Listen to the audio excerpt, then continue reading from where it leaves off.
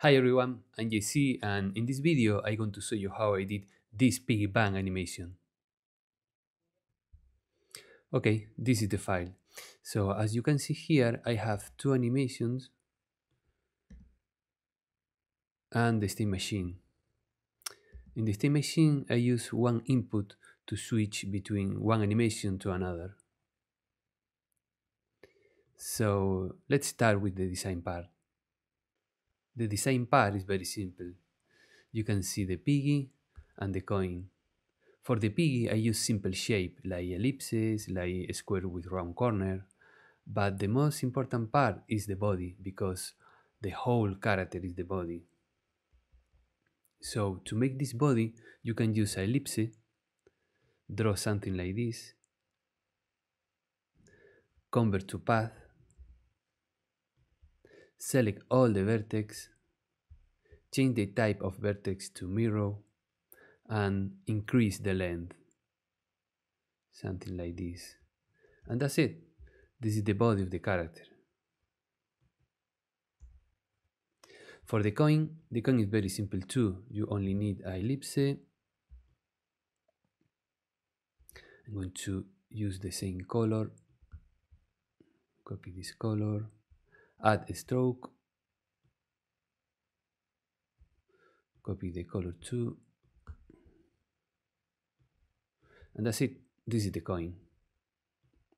But uh, in the video, you can see how the uh, coin spin in the air so if you try this, you can see how in this moment the coin is flat. And I don't want that, I want the thickness of the coin. So a good trick to fix this is here in the stroke properties, this option, transform effects. If you deselect this option, when you try now, you can see how the stroke is not affected by the transformation and this is good because now we have the thickness of the coin. One thing here is in this moment you can see how the stroke changes here. This is, be, uh, this is because the joint type of the stroke. So to fix this, go to the stroke properties and change the type of the joint to rounder. And now when you try, work fine.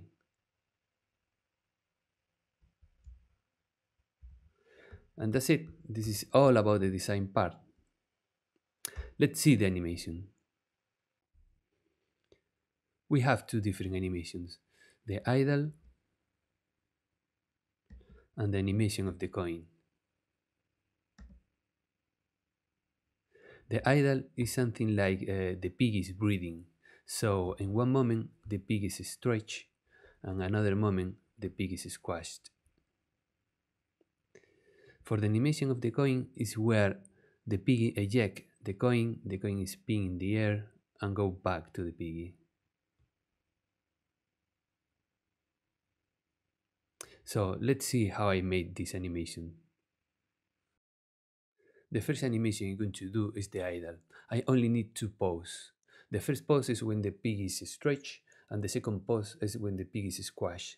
Using these two poses, I can create the effect of the breathing. So I'm going to rename this animation idle and now the first thing I'm going to do is key the actual side of the piggy and copy this key because I want to use uh, for the second pose. Now this first pose can be something like this, a little bit stretch, not too much. The second pose here in the middle of the timeline, I'm going to paste the key and now I can start for the original size and change this pose a little bit squash. Too much. And now I'm going to copy this key and paste to the final to close the loop.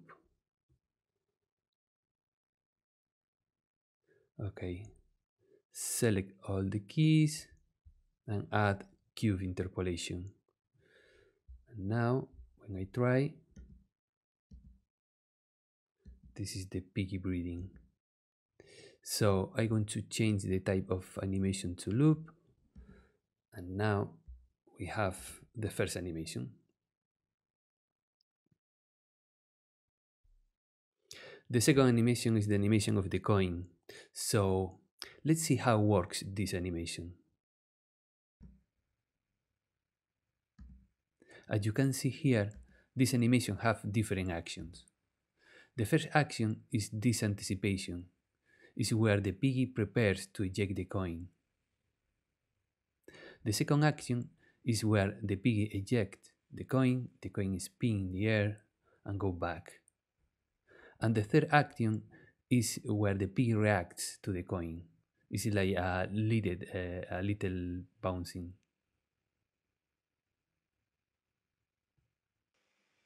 So I'm going to add a new animation, rename coin, and key the actual size of the piggy. Okay, don't worry now about the time you need for this animation. The best you can do is add some keys and then you can move this key to find the time you need. So don't worry for this now. Okay, the first uh, action we need is the anticipation, is where the piggy uh, to uh, eject the coin. So in one moment, I don't know where, maybe here, the piggy is squashed. So maybe something like this.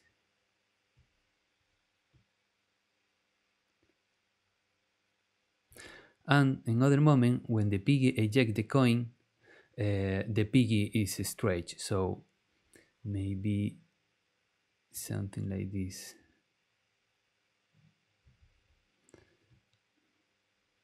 Squash stretch.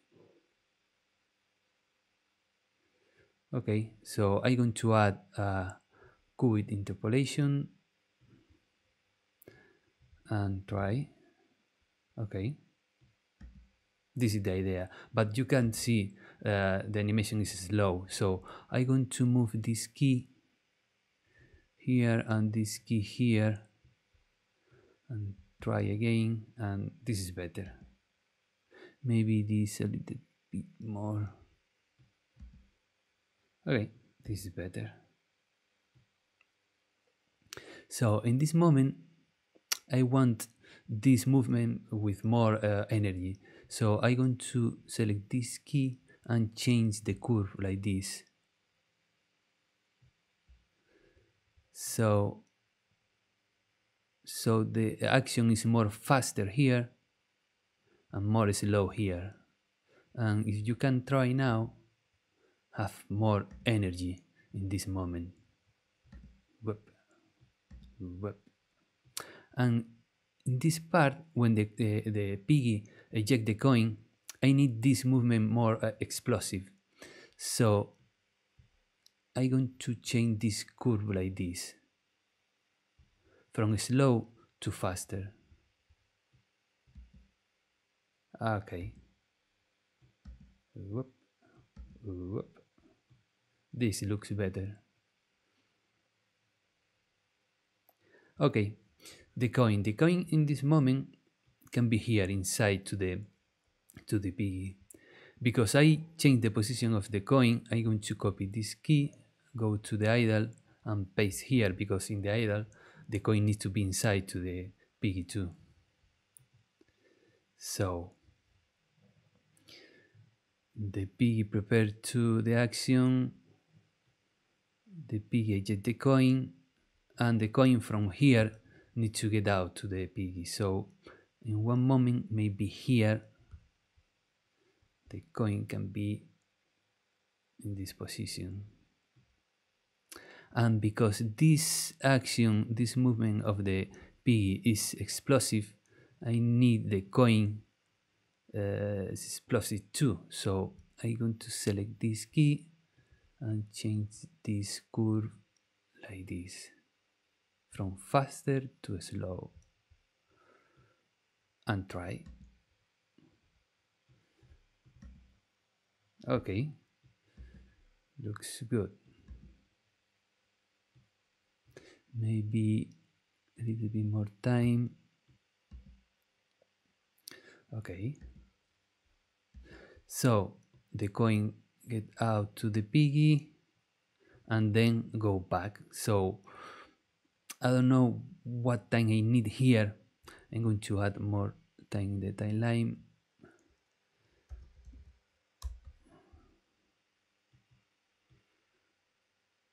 Okay but yeah I don't know what time but maybe here. So I'm going to copy this key and paste is the back so here the coin go to faster to slow and from here the coin need to be from slow to faster. So I'm going to select this key and change this curve like this from slow to faster. And try this ah, looks good. But you can see how the coin here is faster. Here this part is more slow and this part is more faster.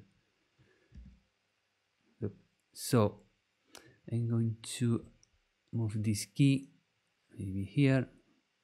Try now.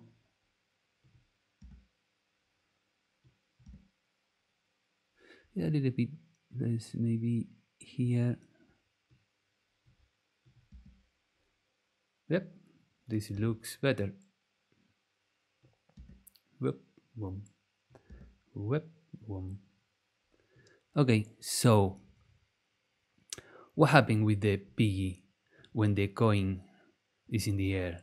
So the piggy from here need to uh, go back to the normal size. Maybe something like a little uh, bouncing.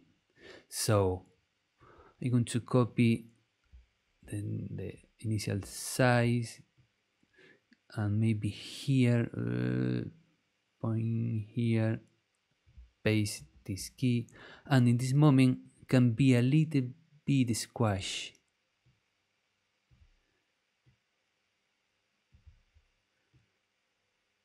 and here pass the key again. Is from stretch to squash to the normal size. So make sure this key this cubic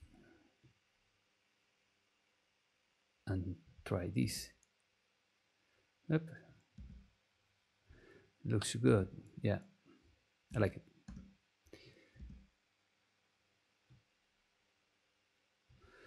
Okay so now the pig prepare to the action the pig eject the coin the coin go to here and go back. One thing I want to change here is this moment because uh, you can see how the pig eject the coin but the coin start from here. And in this moment I want to the coin be here in this position and this action is more faster. So I'm going to select all this key and move maybe here. Here is good because now the piggy eject the coin and the coin got out in this moment. Yeah this is perfect. Just in this moment. So and whoop. Looks better now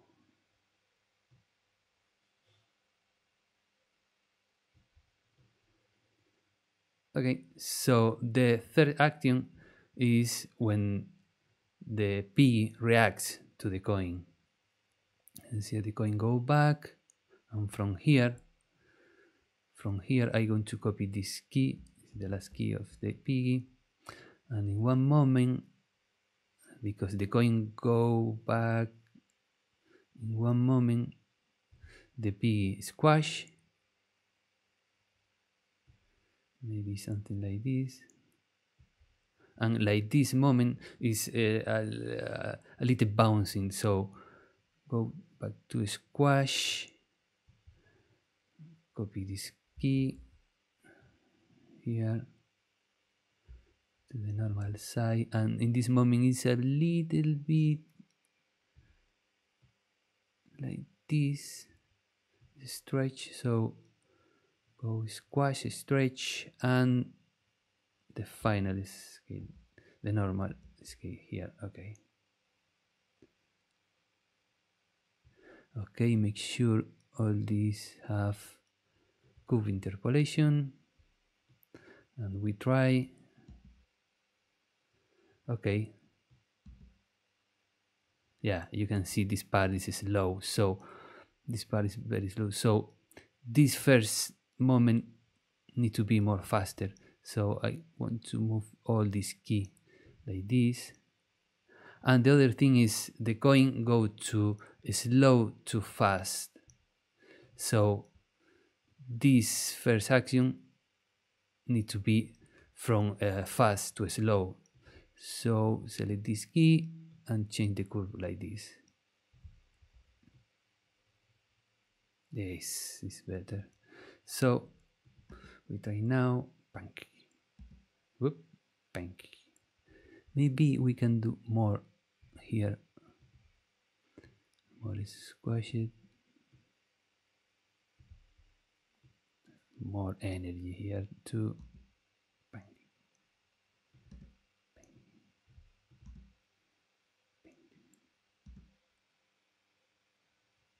Okay this looks great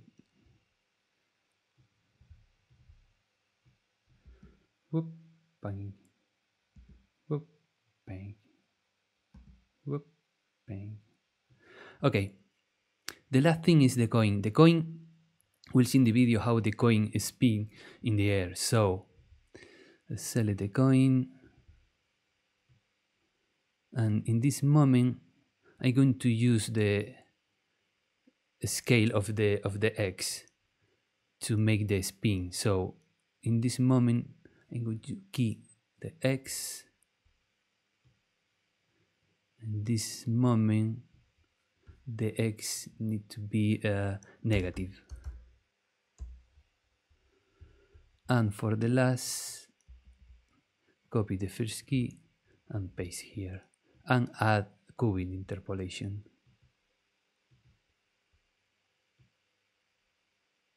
And you can see how spinning in the air. So let's try bing, back, bing, back. that's it. This is all about the animation part. The last thing I want to show you is the state machine. The state machine in this animation is very simple. I only use uh, input to switch between one animation to another.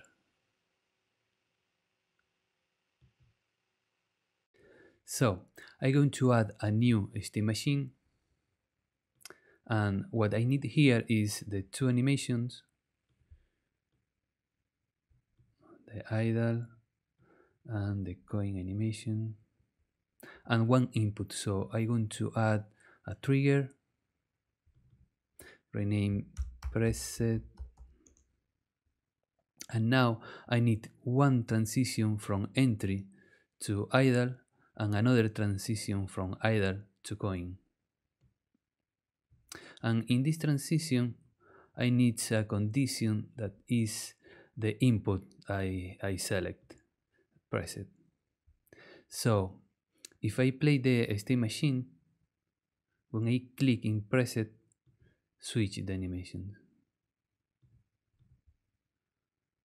click and switch but uh, the other thing I need is when the coin animation finish go back to the idle so I need other transition in opposite direction and in this transition check this option exit time and change this uh, value to 100% this that mean when this animation the timeline finish, go back to the idle. So if I try now, when I click preset, switch and go back. Click switch and go back. That's it. This is all about this animation. You can try using this file or you can create something different like this. I hope you enjoyed this video and if you have any question, please leave the comment on the video or visit our community. So have fun and see you in the next video.